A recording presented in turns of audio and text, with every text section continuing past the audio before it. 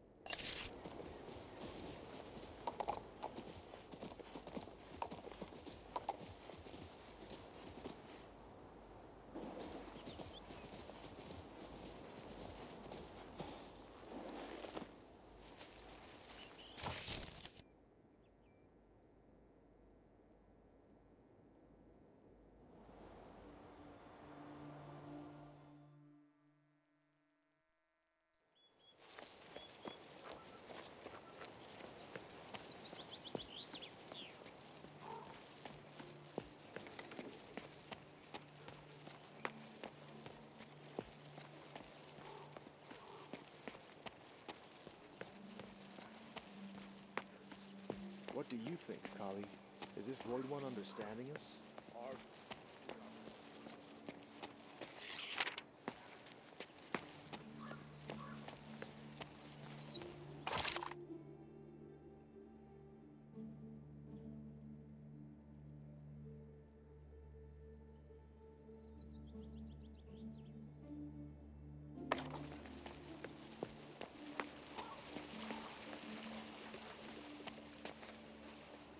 I sense you've got the books with you.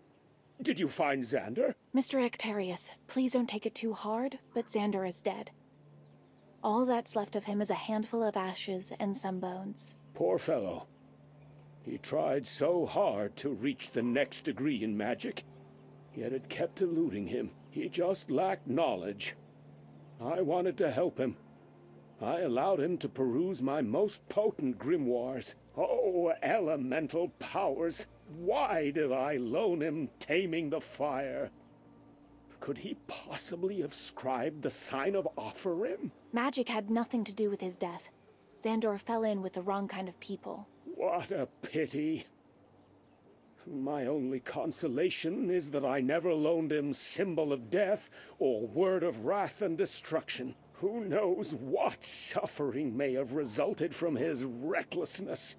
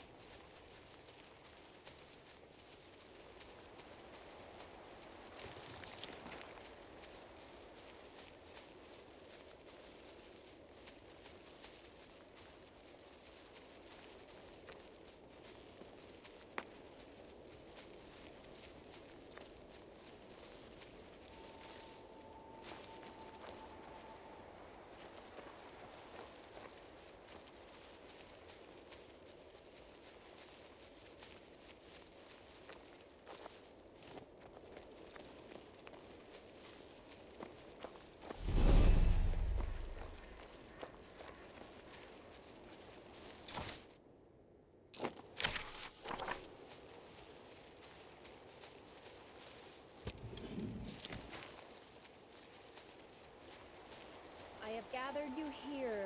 creatures of the woods, mountains, and ponds. Stones and How runes flying all riddle over the place. This is another magical obstacle. I need help.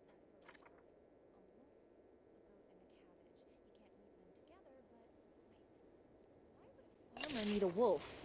He'd better let the wolf go. Whoa, you're here! You helped me escape the bandits at the old outpost. I remember that too. You summoned the eagles. Thanks for helping me save Belinda's herbs. Are you looking for something? Do you need any help? I need to see your teachers, the Witches of Ruin. Oh, they're not far, but the bridge is enchanted. In order to discourage outsiders, Karabos built the bridge from enchanted stones. You need to step on the correct runes as you cross. As I remember it, you need to use Hell, the Death Rune, Ugor, the Guards Rune, and Erd, the House Rune. I'll write them in the air to help you remember. Ugor. Hell. Erd.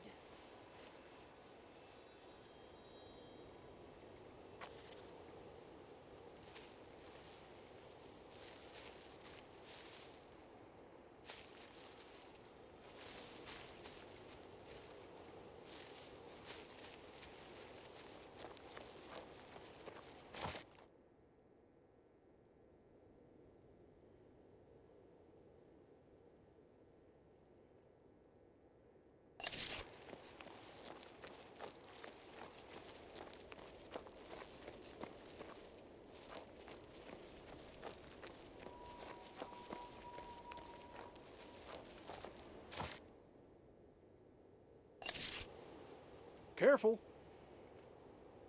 What happened? Not far down the road. Bandits. I saw wagons going past here a while ago. The travelers were heading for some sort of haven over there, atop the hill. There was a huge commotion, screaming, clanging, the deadly whistle of arrows. If it was Bloody Sadie ambushed them, the poor fools are done for. I'll save them. But who are you? And what's your connection to these travelers? Ah, me. Well, I was making my way to the witch's lair to pick up a potion, and then this happened. Truly, the end of times approaches. Bandits, witches, griffins everywhere. The harvest was so poor this year. All the squashes have spoiled. So sad.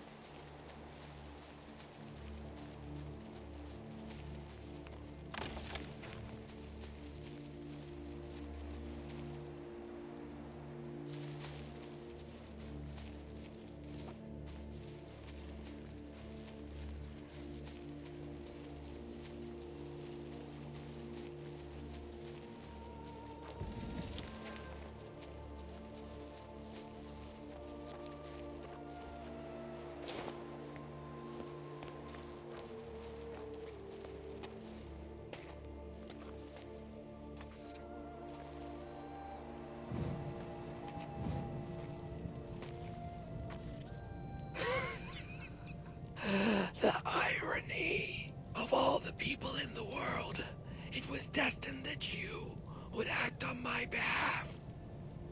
But then again, who else if not you? Who are you? Xandor? I am the one. Wait. Aranox's spirits, the ones guarding the altar, they're here. Stop them at once, and you shall know the entire truth. Okay, I'll be right back.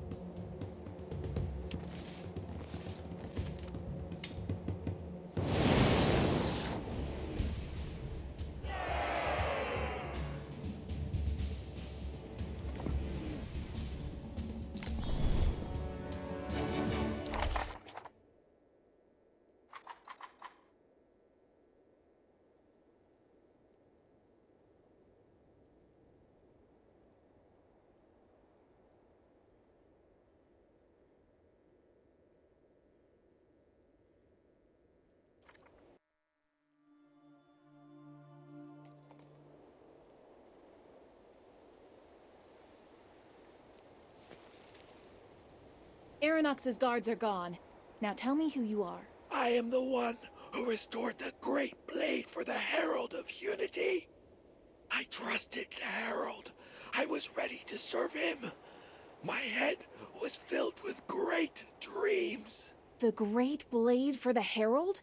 Sounds like the beginning of an exciting story. Following the Universal Assembly, I was approached on behalf of a member of the King's Council. I, a lesser royal mage, was promised a position at the Mage's Tower in exchange for recreating an enchanted weapon from the Third Epoch.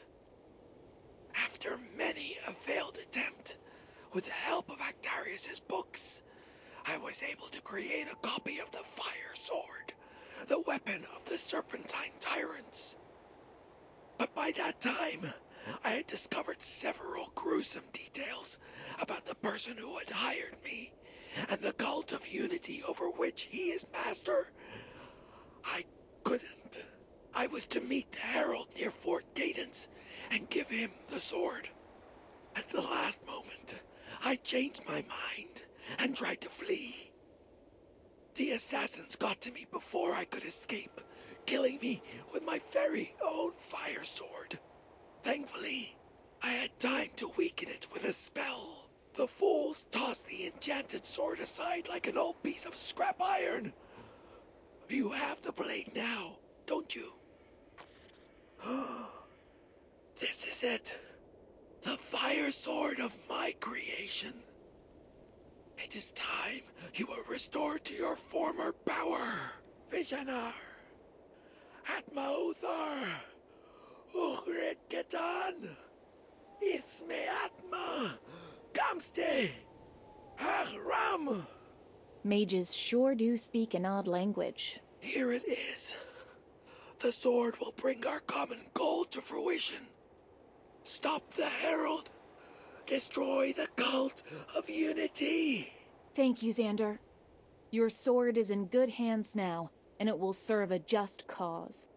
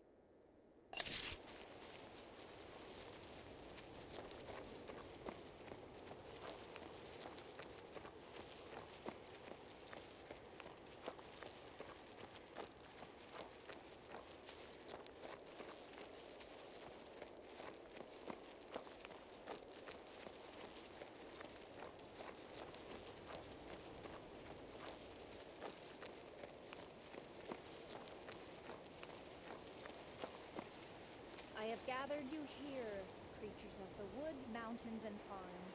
How does the old riddle go? A farmer wants to transport his belongings to the far side of a river. A wolf, a goat, and a cabbage. He can't leave them together, but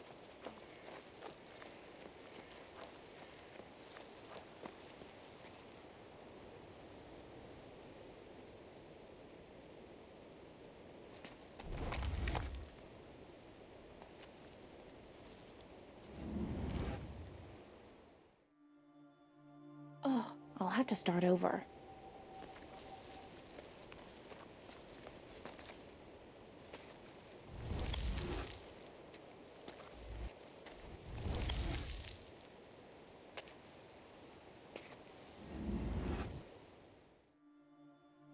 Oh, I'll have to start over.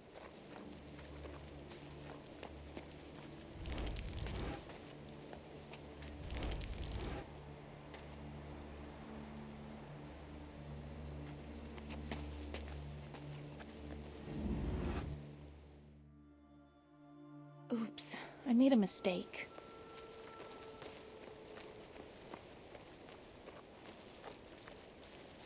I have gathered you here, creatures of the woods, mountains, and farms. How does the old riddle go?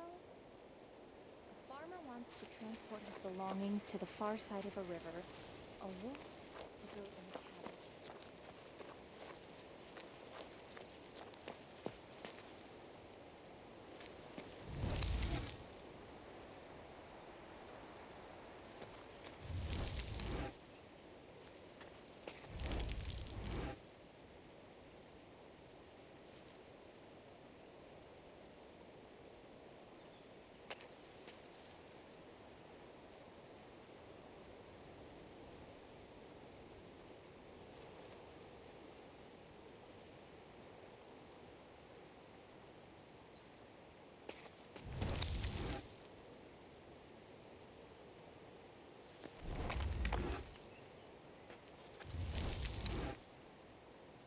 Hooray! I did it!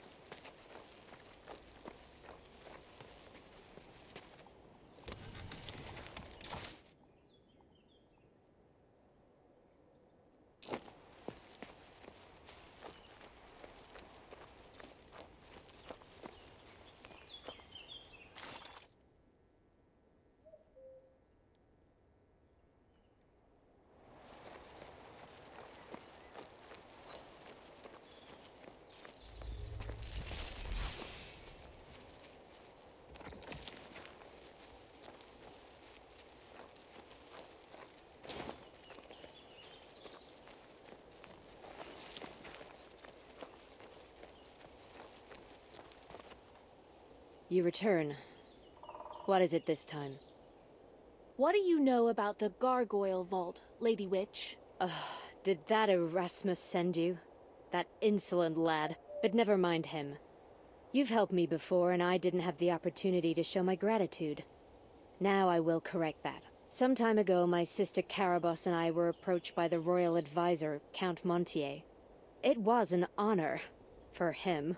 He asked us to magic up a sealed vault for gargoyles. He said the mages didn't have enough mana for proper gargoyle upkeep.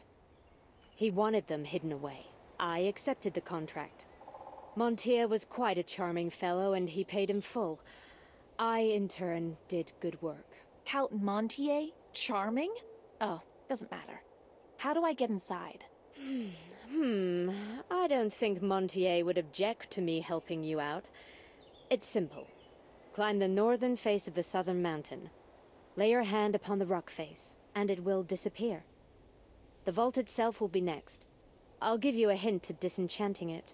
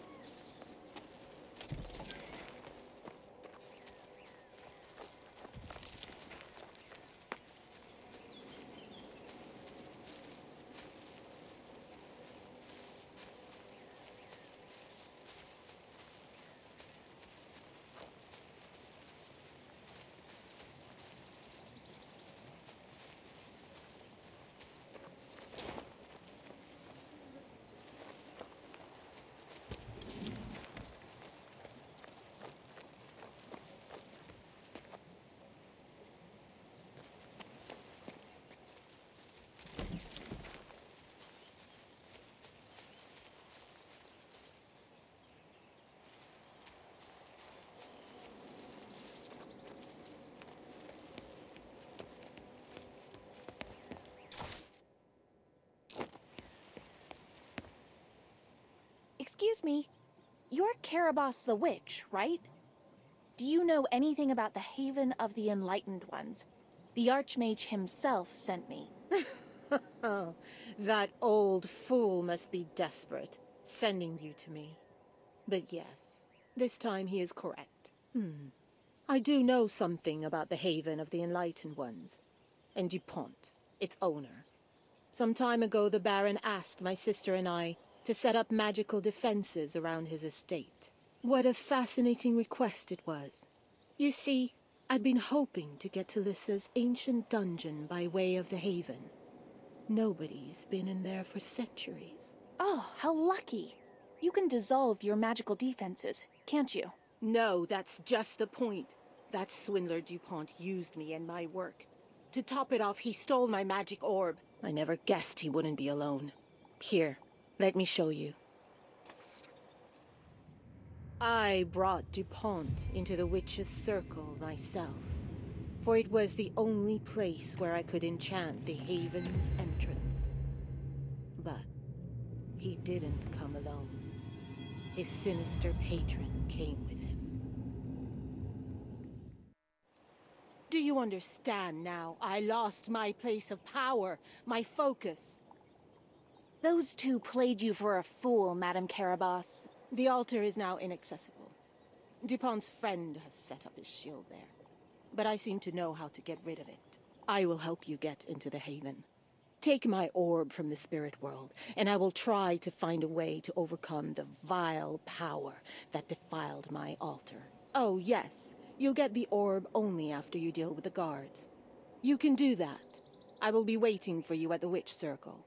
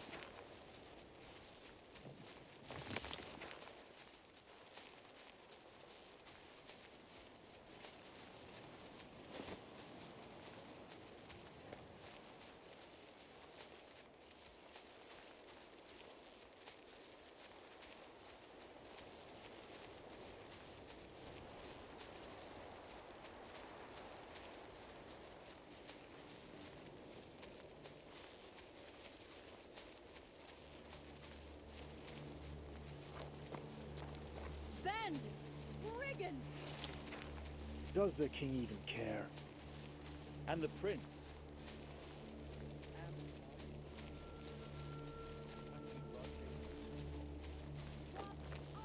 people! People simply looking for